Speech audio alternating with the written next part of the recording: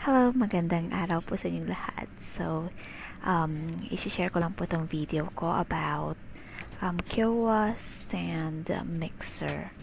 So, disclaimer lang po, um, wala po akong pero-promote dito. So, I hope na makakuha kayo ng ideas about this product. And uh, one more thing, uh, hindi po ako professional vlogger, so sorry sa mga lapses ko, grammar lapses, pronunciation, and uh, um, some other editing skills na hindi ko pa ma-apply sa aking vi sa video. So, let's start. Mm, as you can see, kaya naman siyang buhatin. So, um, compared sa Hanabishi, kasi meron ako dating Hanabishi 800 mph if I'm not mistaken. So, mabigat itong si Kiowa. There it is. So, nandun yung non-slip and serial number which is very important. So, yun. Nandun nga yung product. So, very authentic. Now, it's time to open. Actually, nabili ko, na, pinabili ko siya sa asawa ko. So, sa SM um, nagkaroon kasi ng promo ang SM um, bale ang promo nila is kung may video, issued um, card ka credit card I mean to say um, pwede kang um, when, when your item is worth 5,000 and up or any uh, single receipt 5,000 and up pwede mo siyang installment. So and then aside from 3 months installment pwede mo pa siyang um, meron silang promo na uh, buy now um, pay after 3 months so installment siya, na siya in 3 months and mag-start pa siya after 3 months of purchasing so kaya mas pinili ko tong bilhin asay, um, kasi nga para um, mas may um, allowance ako in terms of um, cash So, there it is. Tada! Okay, so, ito naman, um, um, professional, I believe, pro, a heavy duty series naman siya. So, yon ganun lang kadali ang um, kadali siya buksan and here are some of the attachments. So, first is the wire whisk. So, malaki siya which is good.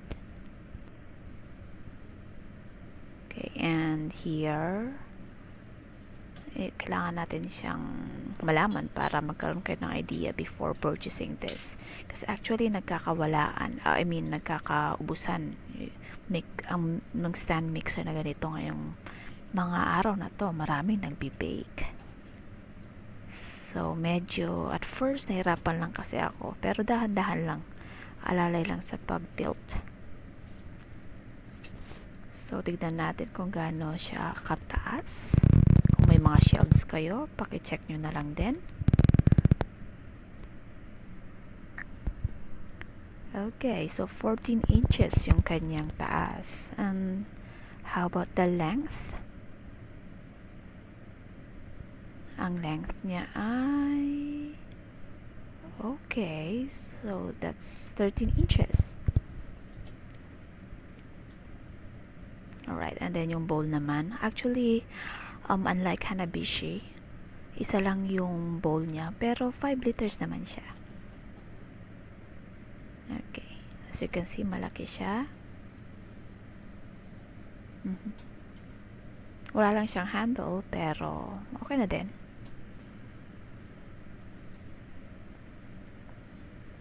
let's see kung gaano siya kalaki para magkaroon kayo ng idea. So di diameter let's take diameter first.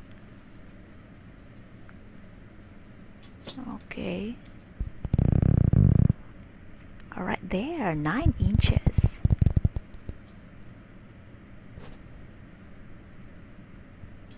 Let's see yung taas niya um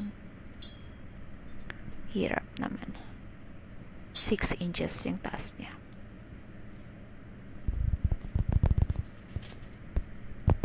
There you go.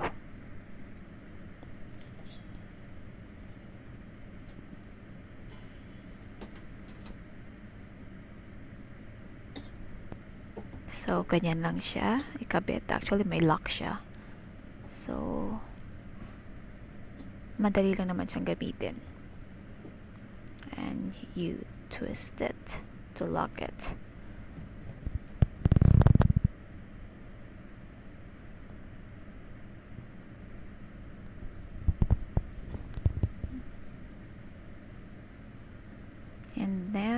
Try din nating i-measure yung whisk. That's it. Okay, so 5 inches yung taas niya. And then yung diameter niya is 4 and a half inches. So actually just like um, Hanabishi. Same lang sila ng laki.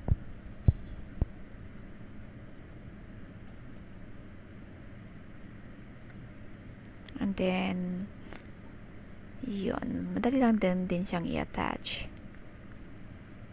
There you go.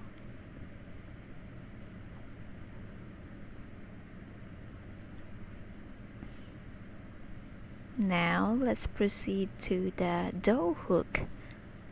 Yes, that's it. Mabigat naman siya. So, mukha rin matibay to sa pagmimix ng mga dough mixtures. So, let's see yung kanyang length. It is 5 inches.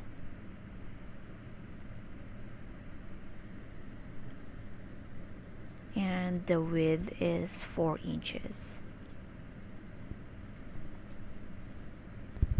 Almost same lang din sila ng um, Hanabishi.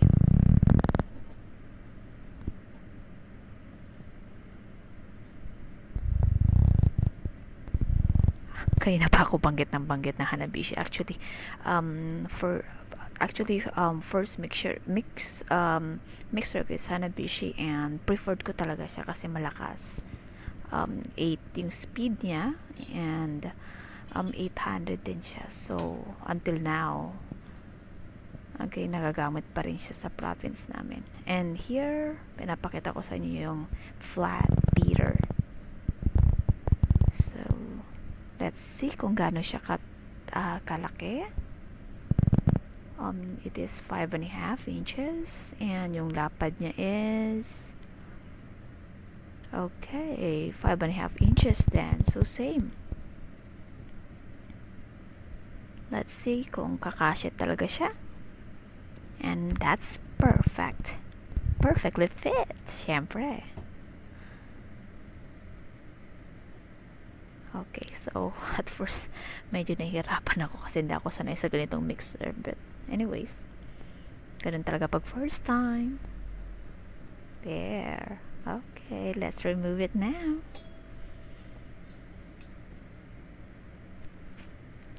Okay, now try naman natin i-plug. Tingnan natin yung okay, motor niya.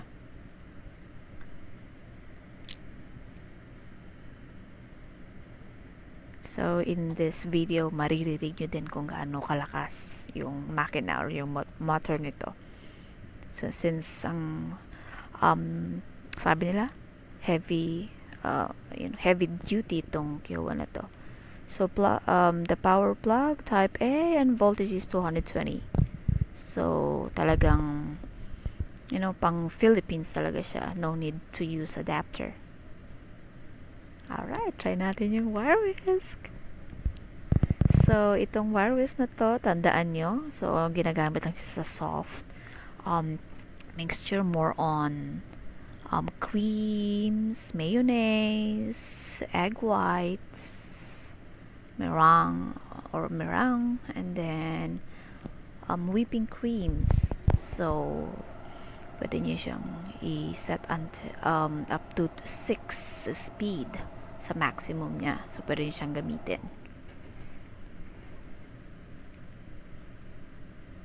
Okay, let's see the speed. Speed number 1.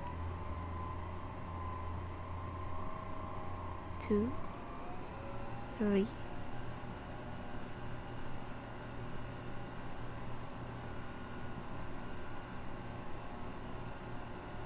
4 Five.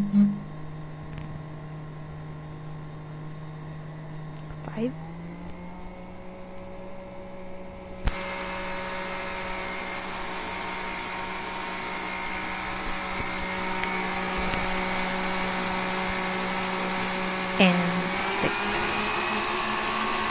That's it.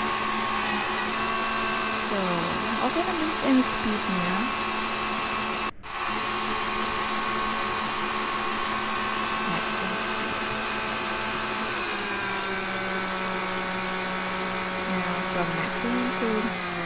Then a minimum speed naman tayo. Balik natin sa zero.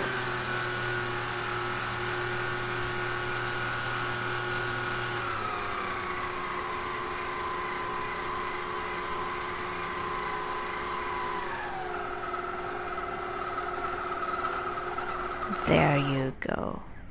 Alright. So, okay naman siya.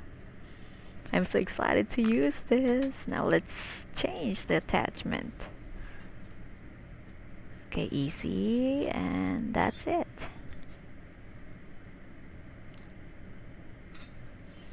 So, kung gumagamit ka ng mixer dati, so, madali na lang to.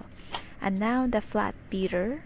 This is for heavy mixtures such as, you know, mga cookie dough, like that. So, yun.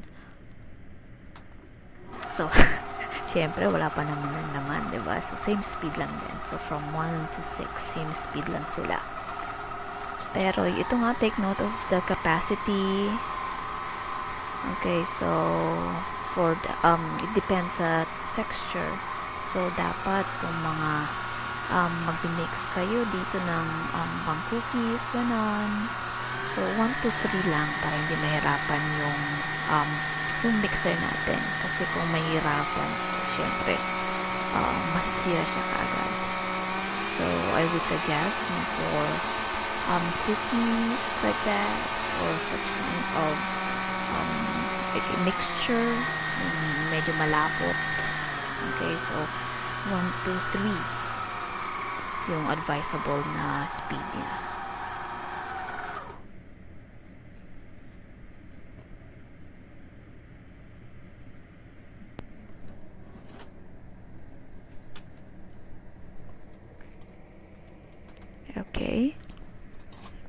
Now let's try another attachment. The last one is the Yes, the dough hook.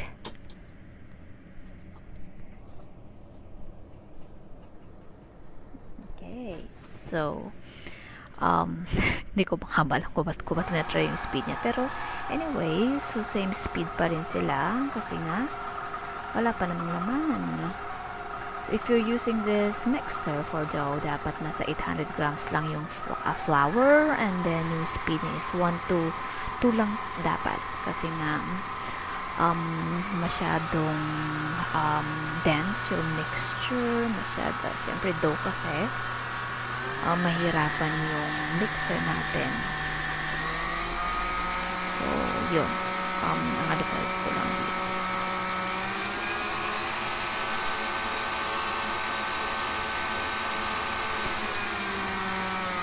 okay that's it Alright, so uh, as you can see, medyo, medyo shaky siya. Okay, so dapat ilagay nyo siya sa um, stable na uh, place. Mm -hmm. So here, as you can see, I have attached here the receipt and I purchased it um, sa SM.